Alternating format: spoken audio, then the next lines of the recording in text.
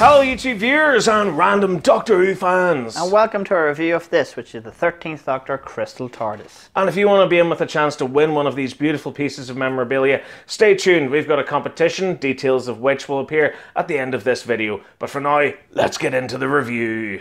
The box features the standard packaging layout where it looks like the police box with the Doctor Who logo at the top, and below it you can see the 13th Doctor standing in front of the opening TARDIS doors with white light emanating from behind them. The sides offer images of the police box windows and panels, while the back gives us a write up, and you can pause the video if you want to read any of this.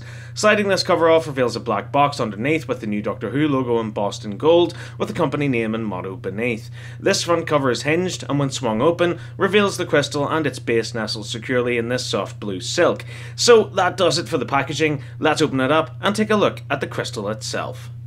Okay, so here we have the 13th Doctor, and much like the other Doctor Who crystals that I've reviewed, this once again looks absolutely stunning. This is one large solid block of perfect crystal, and it looks so pure and beautiful. As you can see, the crystal has been cut to resemble the police box, with the light on the top, the sloped roof and sides, while the main body features details of the police public call box logo etched into the top.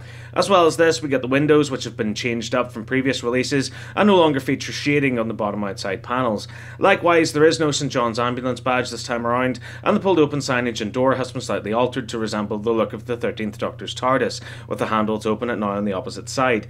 Aside from these, those wooden square panels make a return, while the bottom extends out, representing that thick police box base. This is all impressive in and of itself, but the real selling point here is the 3D laser engraved image of the 13th Doctor, which rests at the very core of the Crystal TARDIS. This is so very unique, and something which a lot of collectibles out there have failed to capture, as it gives us this stylish yet almost haunting vision of the 13th Doctor to display. The detail is incredible, and easily some of Crystal Carving's best work yet, with the hair sculpt actually featuring strands of hair blowing away from her face. There is very subtle detailing of her eyes, nose, and mouth, which is particularly clear when seen from a side-on view. Moving down to the body, you can see she is wearing her standard outfit with that long coat, which features a hood hanging down from the back. And what is so cool about this laser engraving technology is that you can see through the coat as well as the body. So her legs can be seen underneath the coat, and her hood is visible through her chest, giving this a serious ghostly vibe. The attention to detail really has to be admired here, as on her t-shirt you can even spot those stripes across it, as well as her braces. Hands can be seen on both arms, featuring individual detailing of fingers. The trousers are basic but replicated sharply, while you can see some creasing and wrinkling on the coat, as well as the boots, which feature laces along the front. So overall for detail, this is simply breathtaking. The crystal also comes with a rectangular blue base, which features the new Doctor Who logo across the front, and a translucent panel on the top with 9 LED squares inside. The back gives us an adapter port as well as an on-off button, while the underside features the battery compartment, as well as some screws and legal Werber Herzen.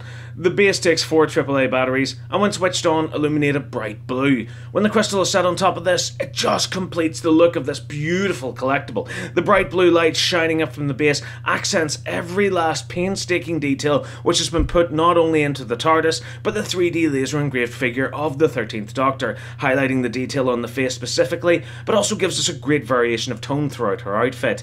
This light effect easily separates the 13th Doctor from the rest of the crystal, and really makes her stand out perfectly.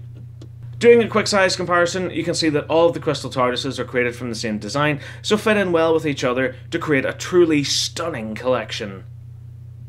So overall, what do I think of this Crystal TARDIS? Again, I think this is very similar to all of the other Crystal TARDISes I've reviewed. I absolutely love this thing. Yeah. I think it's so beautiful. I love the 3D laser engraving effect.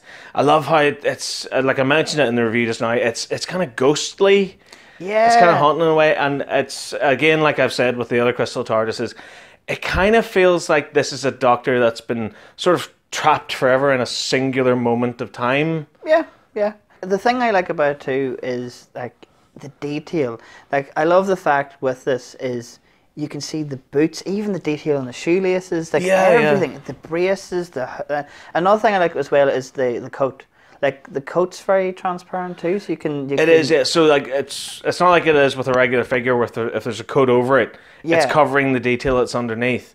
Whereas with this, you can see through the coat, you can see the boots, you can see the trousers. Yeah, I really, really do like that. And another thing I really love with it too is, like, you get that, but just a nice little more detail. Outside of it, you have the box, the TARDIS, you have the police public call box, and I really think that's really really cool and something I, I think for even like veteran collectors.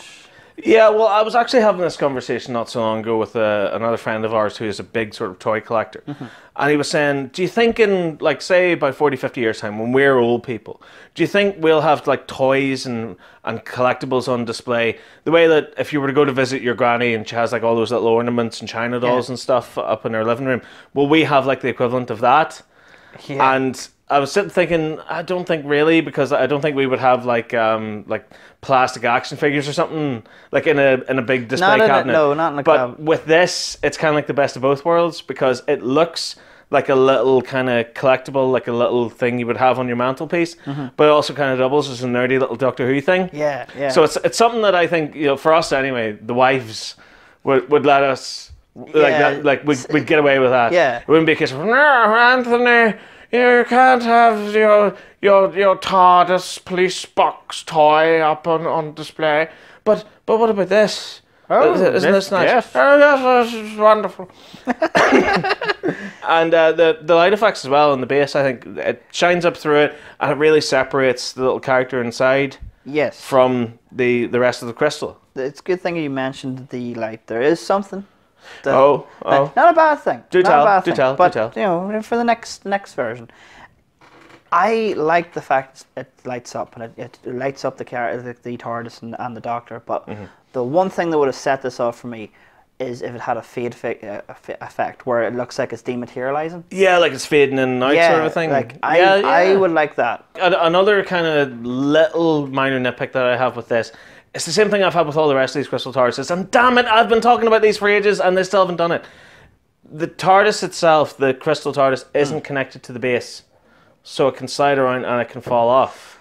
Ah, So I thought it would be nice, even if with the bases, they had like a little lip, kind of running around the edges, so the TARDIS actually clips down onto it that so like really it can't good. slide yeah, off. yeah, whereas yeah. with this, it feels very kind of. It feels if you were cleaning the, you know, the cover, the wee place, and you happen to knock it, it's gone. yeah, it feels kind of very rickety, almost Yeah. sort of a thing. Like it's beautiful as it is, and I just I wouldn't want anything to happen to it. So I'd No. love like even a little plastic lip around A the bit more security with it. Like, I Yeah. know, you, you get this product, you want to show it off, but you want to make sure that when you're showing it off, it doesn't go bang. Yeah, smoosh. and you're like, oh, That was a lovely collectible I had once. but it's funny as well because this is technically now accurate to the show in a little kind of weird way because these Crystal TARDISes have been out for a while now. Yeah. And I've reviewed a, a fair chunk of them and I've loved every single one. To my surprise, whenever Jodie Whittaker's TARDIS was revealed, the actual interior was revealed, hmm. there's a crystal TARDIS, there's a crystal police box as part of her console. is it? Yeah, I, like I noticed it in Ghost Monument, and again, that's a nice thing too because I would regard that as a ghost monument. Ah, I thought I thought that was quite clever too. That's good. That's but good. when you see her TARDIS close up, there is an actual. Um, it looks like a crystal police box, Hmm. and it rotates like it spins around. That's really cool. Like, I'm looking forward to seeing more. No, Like, no, future thing. Like, what else are they going to add to it? You know, Yeah. like, well, not even just that. Like, what are they going to do outside of Doctor Who as well? yes.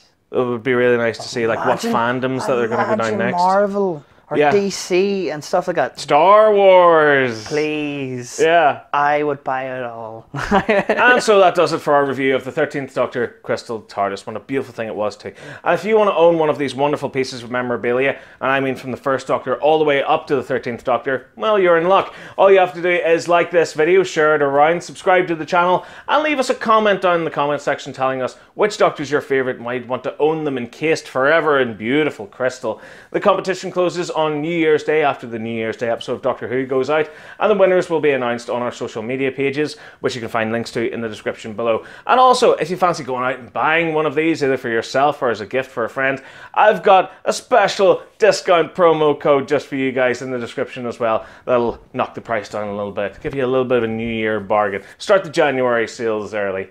Thanks so much for watching, everyone. Until next time, farewell Bye. Buys with the discount code. Yes, that's there. Description. It's in the description. There, there. Click go, it. Go, go, go. Go off now. Good luck. Go. Christmas. Bye.